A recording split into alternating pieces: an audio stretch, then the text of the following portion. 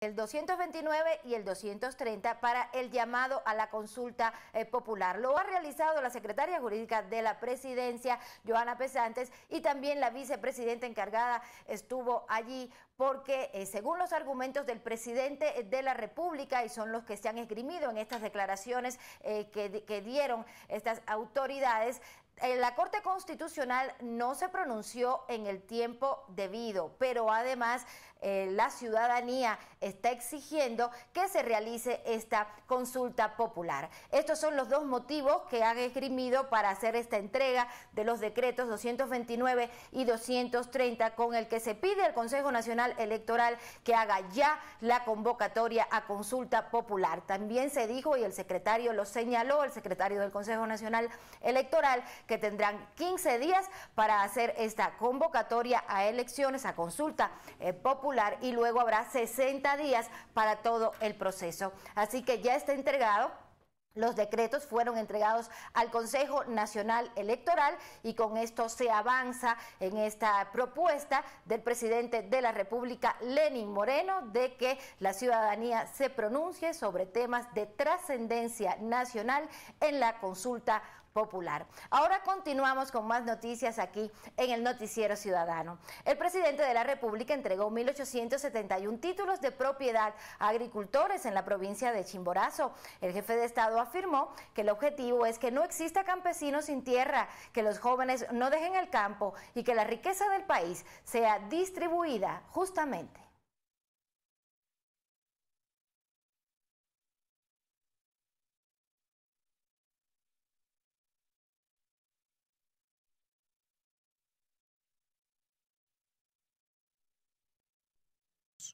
El ministro de Agricultura y Ganadería, Rubén Flores, destacó los logros de esta cartera de Estado a lo largo de estos seis meses de gobierno. En estos seis meses de su gobierno, presidente, se han entregado ya, como vimos en el video, cerca de 500 millones de dólares mediante 120 mil operaciones. 120 mil operaciones que si uno entiende el mundo rural, sabe que detrás de eso hay un autoempleo y detrás de ese autoempleo hay un empleo familiar. Solo para el desarrollo agropecuario, presidente, hemos invertido ya 200 millones de dólares en crédito a 24 mil familias campesinas. Como parte del apoyo al sector rural, el Ministerio de Agricultura se preocupa por entregar acompañamiento técnico y capacitación. Además, los agricultores y emprendedores se benefician del reemplazo gratuito de herramientas viejas por nuevas y de la póliza de seguro para cultivos y para construir escuelas más cercanas a las comunidades. No podemos pensar en revolución agraria si no sabemos que somos conscientes y capaces de redistribuir en justos términos la tierra para quien la trabaja, acompañado de crédito productivo, pero también de capacitación y asistencia técnica para nuestros trabajadores del campo, para los trabajadores del agro. Cómo ir fortaleciendo aquellas cadenas de comercialización y buscando nuevos mercados para también aquello que es un elemento fundamental en la política económica, como es garantizar la soberanía alimentaria, entendiéndola como un elemento sustancial. El jefe de Estado en su intervención destacó las facilidades con las que ahora los agricultores acceden a créditos productivos. Puso como ejemplo los 84 millones de dólares que Ban Ecuador ha otorgado a 12.300 emprendedores, de los cuales 13 millones de dólares se entregaron en la provincia de Chimborazo. Sí, ya van casi 10.000 títulos de propiedad, pero Rubén, sabes que la exigencia es bastante mayor. El objetivo, a lo mejor es un paradigma, pero no importa, hacia allá apuntamos. El objetivo debe ser alto que no exista un solo campesino que no tenga su tierra. A lo mejor no lo logramos, pero vamos a intentarlo. Con esto se ha beneficiado alrededor de 50 mil queridos hermanos ecuatorianos campesinos. Nuestra prioridad es atender las necesidades urgentes de las poblaciones más pobres, más vulnerables, en las zonas que más lo necesitan. El primer mandatario agradeció a los alcaldes de la provincia que facilitaron terrenos para la ejecución de Misión Casa para Todos y el apoyo ciudadano que ha recibido la gran minga agropecuaria, en la que se ha invertido 198 millones de dólares. Carolina Díaz, Noticiero Ciudadano. En la isla Santa Cruz, provincia de Galápagos, se realizaron operativos de control para regular los servicios de guías turísticos y erradicar la práctica informal de esta actividad. El pasado 15 de septiembre, el Gobierno Nacional decretó el estado de excepción por 60 días en el distrito minero Portobelo Saruma, en la provincia de El Oro, debido a la formación de un socavón en el casco urbano del cantón Saruma, originado posiblemente por la minería ilegal. El 15 de noviembre, el presidente de la República, Lenín Moreno, firmó la ampliación del estado de excepción por 30 días más y ordenó la ejecución de las acciones necesarias para prevenir riesgos y mejorar las condiciones adversas. El Comité Interinstitucional presidido por el Ministerio del Interior e integrado por los Ministerios de Minería, Ambiente, Defensa, Secretaría de Gestión de Riesgos, entre otros, realizó valoraciones a las 44 concesiones que fueron canceladas con dicho decreto, de las cuales 21 fueron habilitadas para continuar con sus labores mineras. Los titulares de las concesiones habilitadas tendrán 90 días para regularizar su documentación en el Ministerio del Ambiente y en la Secretaría del Agua. Desde la conformación del comité se han construido 11 muros para proteger la zona de Saruma. Además, se realizaron 35 colapsos a túneles que conectaban con el lugar de excepción utilizando explosiones controladas. La Policía Nacional, en acciones coordinadas con las Fuerzas Armadas, resguardan los ingresos a las minas consideradas como ilegales o que afectan directamente al perímetro de excepción. Luis Andrade, Noticiero Ciudadano. Como un homenaje a sus 170 años de provincialización, Esmeraldas fue reconocida por el Pleno de la Asamblea Nacional como destino turístico natural y cultural del Ecuador. Ello se viabilizó a través de una resolución propuesta por la asambleísta Rina Campaign, oriunda de la provincia verde. Apoyada de un video, la asambleísta por Esmeraldas por Creo, Rina Campaín, destacó la historia, cultura, gastronomía, paisajes y la música que caracterizan al pueblo esmeraldeño. Pero Esmeraldas también constituye uno de los motores económicos más importantes del Ecuador, ya que aquí se encuentra la planta industrial de refinación de petróleo más grande del país. Aspectos que también fueron reconocidos por los legisladores Mayra Montaño y Lenín Plaza. La provincia de Esmeraldas es tierra de contrastes, es donde se conjuga la hospitalidad y el calor de su gente. Esmeraldas en el turismo es un imán que atrae no solo a los ecuatorianos, sino también a los extranjeros. Pero no todo fue positivo. También hablaron de los problemas que azotan Esmeraldas. Asambleístas como Mae Montaño y Roberta Zambrano reflexionaron sobre aquellas necesidades insatisfechas, los altos índices de pobreza y los efectos de la minería ilegal. Nueve de cada diez esmeraldeños en algunas zonas es pobre, de pobreza absoluta. Hay contaminación en los ríos por la minería ilegal. La gente se está enfermando. La resolución en la que se reconoció a Esmeraldas como destino turístico nacional y cultural del Ecuador también reconoce el aporte de sacrificio, esfuerzo y trabajo del pueblo afrodescendiente para construir lo que hoy es Esmeraldas, tierra de promisión y crisol de la nacionalidad ecuatoriana. Más adelante en su noticiero ciudadano, continúan las operaciones de búsqueda del submarino Ara San Juan y sus 44 tripulantes.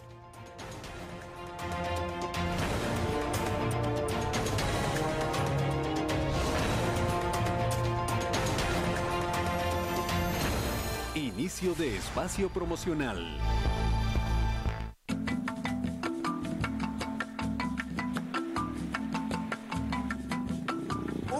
Privilegiado, 25 grados centígrados de temperatura y un paisaje costero que poco tiene que envidiar a otras playas del mundo, hacen definitivamente de Esmeraldas un destino que obliga a cualquier turista a tomarlo en cuenta a lo largo de la costa ecuatoriana. Esta razón, la infraestructura turística que se ha levantado en la provincia verde ofrece al visitante todo un abanico de opciones, desde las más lujosas residencias hasta aquellas que ofrecen un contacto más cercano con la naturaleza.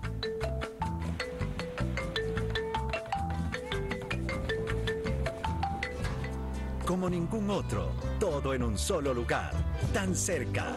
All You Need is Ecuador. Ecuador es todo lo que necesitas. La belleza del Ecuador no es está solo en sus monumentos, en sus montañas, en sus costas, en su Amazonía o en sus experiencias únicas. Su belleza está en tu alegría.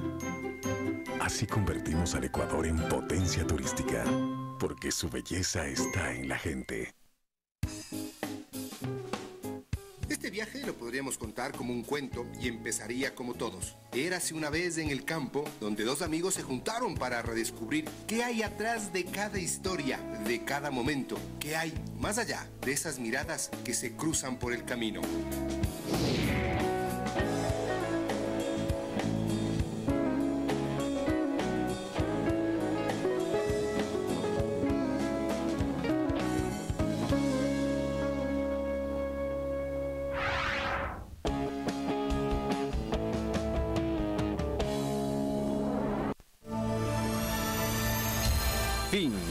Espacio promocional.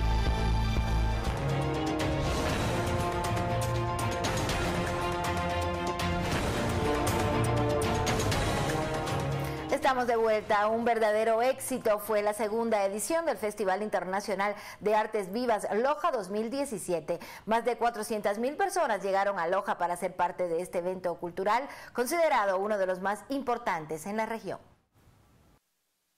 15 millones de dólares generó la segunda edición del Festival Internacional de Artes Vivas Loja 2017, un evento que según Raúl Pérez Torres, ministro de Cultura, logró consolidar a la cultura como un eje transversal en las políticas gubernamentales. Esto deja más o menos un saldo de 15 millones de dólares que ha sido los hoteles, los bares, eh, eh, los lugares de comida, los pasajes interprovinciales, aéreos. Yo creo ahora más convencido que nunca que la cultura tiene que ser el eje transversal de cualquier política, de cualquier eh, eh, meta de desarrollo, como dice la UNESCO, ¿no? porque ese eje transversal nos permite eh, ser más sabios, más atentos en lo que se refiere a política, en lo que se refiere a la economía, si contamos con un sustento que está en el espíritu más que en el bolsillo. Este festival que se desarrolló del 16 al 26 de noviembre en la ciudad de Loja superó las expectativas, llegando a recibir 400 mil turistas. De esta cifra, el 15% son visitantes de Colombia y Perú, países en los que el Ministerio de Cultura promocionó este evento artístico. Quien haya visitado a Loja sabe que es la única ciudad en el mundo que se ha volcado a las calles desde los niños de un año, dos años, dibujando y pintando en las calles eh, eh, por el efecto de la cultura. Para el próximo año el festival ya cuenta con un presupuesto y de acuerdo al ministro de Cultura, existe un equipo interinstitucional trabajando para la realización de este evento y de las actividades previas, como el Festival Camino a Loja, que en este año llegó a 12 ciudades del país. Y en esas 12 a lo largo y ancho del territorio nacional se hizo mini festivales con los artistas, con los teatreros de cada una de las regiones. Esta segunda edición de la mayor fiesta de las artes en el Ecuador contó con la presencia de 300 artistas, 30 obras en escena, 10 géneros distintos, 10 escenarios, 14 grupos internacionales y 16 nacionales. De esta manera se fortalece el objetivo del Gobierno Nacional de convertir al festival en un producto cultural exportable que permita mostrar el talento de los artistas ecuatorianos y propiciar una industria promovedora de las artes y la cultura. Caterina Morejón, Noticiero Ciudadano. En la isla Santa Cruz, provincia de Galápagos, se realizaron operativos de control para regular los servicios de guías turísticos y erradicar la práctica informal de esta actividad. La Dirección Zonal Insular del Ministerio de Turismo y la Dirección del Parque Nacional Galápagos realizaron operativos de control en los sitios turísticos Los Gemelos, Las Grietas y en los ranchos de la isla Santa Cruz, con el propósito de garantizar la calidad de los servicios de guianza turística y regular esta actividad. Mediante siete operativos aleatorios realizados a finales del 2016 y durante el 2017, se pudo verificar que los turistas cuenten con la compañía de un guía especializado debidamente acreditado, tal como establece el reglamento de guianza turística para el régimen especial de Galápagos. La Coordinación Zonal Insular informó que estas medidas de control se realizan para erradicar la guianza informal. Además, hace un llamado a los turistas y ciudadanía a utilizar servicios de guianza acreditados. Como resultado de esta acción, el Ministerio de Turismo realizó amonestaciones escritas a las agencias de servicios turísticos que incumplieron con la normativa al exceder el número máximo de pasajeros por grupo guiado para realizar las actividades turísticas. La Autoridad Nacional de Turismo junto a la Autoridad Nacional Ambiental en territorio continuarán con los operativos de control de guianza de forma periódica en la isla Santa Cruz, con el objetivo de velar por el cumplimiento de la normativa legal vigente. Luis Andrade, Noticiero Ciudadano. Ecuador busca la nominación a la mejor película iberoamericana de los premios Goya a través de Traslúcido, un filme ecuatoriano protagonizado por el actor guayaquileño Roberto Manrique y dirigido por el cineasta Leonardo Selic. La película ecuatoriana Traslúcido es una coproducción entre Estados Unidos y Ecuador. Impulsando la exportación de servicios nacionales, el Instituto de Promoción de Exportaciones e Inversiones Pro Ecuador se encuentra apoyando esta iniciativa y para el efecto organiza hasta finales de año diversas proyecciones de la película en Madrid con el objetivo de llamar la atención de la Academia Española y que el film ecuatoriano sea nominado como mejor película iberoamericana a los premios Goya. Traslúcido está protagonizado por el actor guayaquileño Roberto Manrique y dirigido por el cineasta venezolano Leonardo Selig. La película es una coproducción entre Estados Unidos y Ecuador, dirigida por un venezolano. Eh, y bueno, buenísimo. Así es, así es el, mundo de hoy, así es la diversidad de estar haciendo una película que contó con un montón de unidades, eh, una en Guayaquil, una en Madrid, una en Quito y, y súper, súper interesante. Un drama cuya historia se plantea desde una visión positiva ante el inevitable desenlace de la muerte. Y me propone que sea el protagonista. Em, y pues se imaginarán mi alegría al respecto y me lanzo de cabeza a, ser parte de, de esta historia como Rubén, la trama gira en torno al último día de la vida de Rubén, un inmigrante ecuatoriano en Nueva York, que es diagnosticado con cáncer pancreático terminal. Es un inmigrante ecuatoriano que vive en New York desde hace muchos años, fotógrafo, artista, bohemio, que ha sido diagnosticado con cáncer pancreático terminal. Le han dado un año de vida con tratamiento, un año y medio quizá, y tres meses sin tratamiento. Y que él ha decidido tomar las riendas de este capítulo final de su vida y abordar este proceso de la manera en que él, él le parece lo mejor. En las salas de cine a nivel nacional, la película ha contado con más de 30.000 espectadores.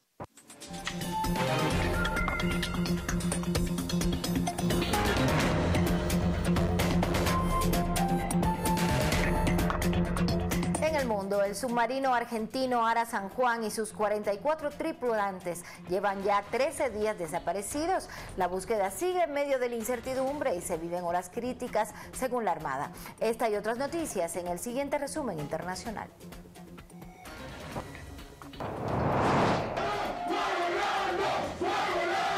El presidente hondureño Juan Orlando Hernández, aspirante a la reelección, pidió el martes paciencia con el lento conteo de votos de los comicios del domingo, que ha sido criticado por observadores internacionales. No obstante, el mandatario insistió en que el cómputo de su partido le da la victoria.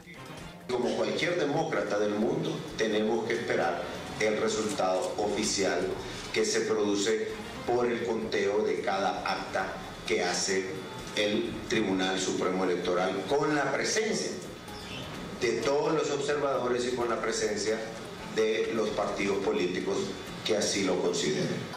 Seguidores de Hernández se manifestaron en Tegucigalpa para festejar el que aseguran es el triunfo de su candidato. Hernández, en el poder desde 2014, se postuló a un segundo mandato gracias al controversial fallo de un tribunal, pese a que la reelección está prohibida por la Constitución.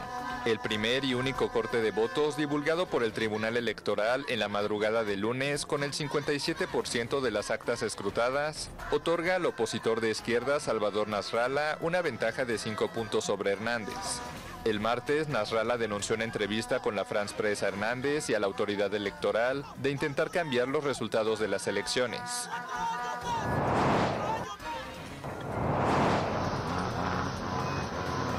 El submarino argentino Ara San Juan y sus 44 tripulantes siguen desaparecidos en el Atlántico Sur, pese a la intensa búsqueda internacional. Ya horas críticas, 13 días de búsqueda, aún no, hemos podido localizar o detectar al, submarino San Juan y de alguna manera son horas eh, de mucha incertidumbre. La búsqueda del submarino se concentra en un radio de 36 kilómetros en el Atlántico Sur, a 450 kilómetros de las costas de la Patagonia. La profundidad de la búsqueda varía entre los 200 y 1000 metros. En esa zona fue reportada una explosión el día de la desaparición, el 15 de noviembre, tres horas después de la última comunicación del submarino, cuando informó una avería en las baterías a raíz de un cortocircuito por el ingreso de agua por el snorkel. Esta avería no se consideró de emergencia, pues una vez superada el submarino podía seguir navegando incluso con inmersión hacia Mar del Plata, según la Armada Argentina. Los familiares de los tripulantes continuaban en la base naval del Mar del Plata esperando noticias. No, estamos ahí expectantes, con, mucha fe y esperanza. Obviamente estamos todos unidos como una gran familia naval y tenemos la contención de la Armada y, y de los oficiales y suboficiales que están ahí con nosotros.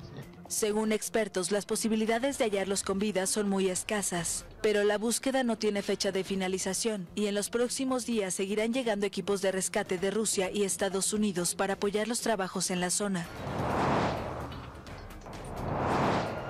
Argentina espera cerrar hoy una herida abierta con la lectura de la sentencia del mayor juicio celebrado hasta ahora por los crímenes de la última dictadura, en particular por los horrores cometidos en la ESMA y los escalofriantes vuelos de la muerte.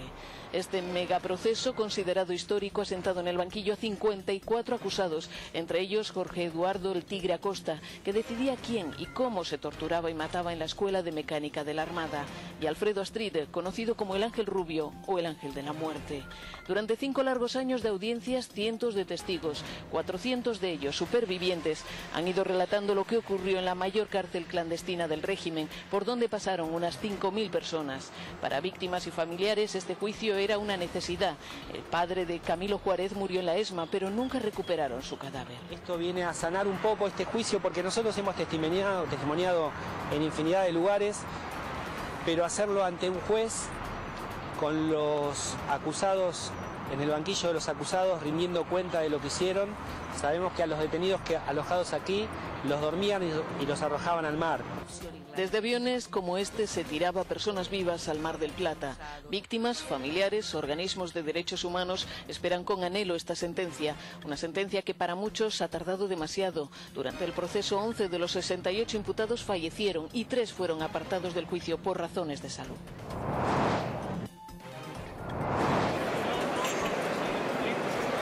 Un grupo de pilotos de Aeroméxico realizó un paro de labores el martes que provocó la cancelación de unos 40 vuelos y afectó a más de 3.500 pasajeros. La huelga iniciada por la madrugada en el Aeropuerto Internacional de la capital no contaba con el apoyo de la Asociación Sindical de Pilotos Aviadores de México y se originó por el despido de un piloto que supuestamente fue obligado a volar con un tumor en la nuca. Aeroméxico señaló en su página web que este piloto fue despedido tras un largo historial de mala conducta. Tras la intervención de dirigentes sindicales, el paro se levantó ante una promesa de diálogo y de una investigación para determinar si se trata de un despido injustificado. Los vuelos se reanudaron por la tarde, según confirmó una fuente aeroportuaria, y se anunció que no habría sanciones para los pilotos que se declararon en paro. Y aquí concluye el noticiero ciudadano. Muchísimas gracias por habernos acompañado. Les invitamos a continuar en nuestra sintonía esta noche 19 horas el noticiero estelar. Un abrazo, conmigo será hasta mañana.